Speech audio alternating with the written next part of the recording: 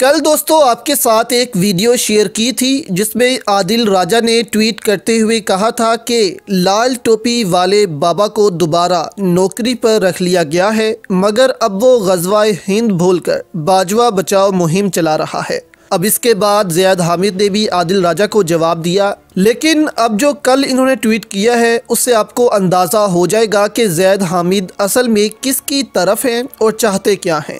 पंजाब से मुतलिक उन्होंने अदालत से क्या दरख्वास्त की, आपको बताते हैं। जैद हामिद ने कहा कि कोर्ट को गैरत दिखाकर फौज के साथ खड़े होकर रियासत की ज़िम्मेदारी उठानी पड़ेगी। अगर सारा बोझ फौज पर डालेंगे तो मुल्की दिफा के साथ साथ सियासत ही मुनदम हो जाएगी। ये सियासतदान पड़ले दर्जे के बदकारों कमीने हैं। ये कुर्सी के लिए मुल्क को आग लगा देंगे और लगा रहे हैं। अब अदालत को फौज के साथ खड़े होना चाहिए। इसका क्या मतलब है? क्या जैद हामिद ये कह रहे हैं कि सियासी जमातें इस वक्त फौज के खिलाफ हैं? ऐसा बिल्कुल भी नहीं। फौज हमारी है और हर पाकिस्तानी को अपनी फौज से प्यार है, लेकिन किसी एक शख्स को हम इदारा नहीं बना सकते। तो जैद हामिद भी इसी तरफ़ इशारा कर रहे हैं कि अदालतें वही फैसला दें जो इस्टेब्लिशमेंट कह रही है, क्योंकि वही मुल्क के लिए बेहतर है।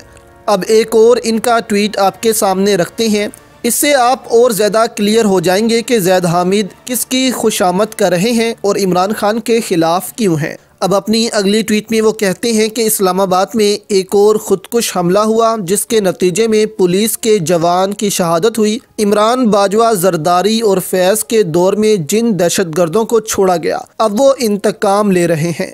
मौजूदा सियासी हकूमत में तो ये सलाहियत ही नहीं है कि इस खतरे का जवाब दे सके। सिपा सलार पर भारी ज़िम्मेदारी है। अब आप नोट करें तो कमर बाजू और फैज़ हमीद पर भी जैद हामिद ने तनकीद की है, यानी आदिल राजा के ट्वीट के बाद ये उन पर भी तनकीद करना शुरू हो गए हैं, जिसका मतलब ये है कि जैद हामिद को इस वक्त मौजूदा आर्मी चीफ की छतरी चाहिए। कमर बाजवा और फैज़ हमीद रिटायर हो चुके हैं। इनके साथ इमरान खान का नाम इसलिए मिलाया जा रहा है ताकि अवाम में ये राय पैदा हो जाए कि इमरान खान भी इन्हीं में से है और इमरान खान को भी फिर डिफेम किया जाए। लेकिन अवाम तैयार नहीं है। अवाम इस वक्त इमरान खान के साथ खड़ी है और जितना ये इमरान खान को डिफेम करने पर लगे हुए हैं, इतना इमरान खान की मकबूलियत में इजाफा हो जाता है। और इमरान खान पहले से ज़्यादा मज़बूत होकर निकलते हैं। इसलिए सबसे बेहतर इस वक्त यही हल है कि नए इंतबात करवा कर मुल्क में उस शख्स को लाया जाए जिसके साथ पूरी कौम खड़ी है।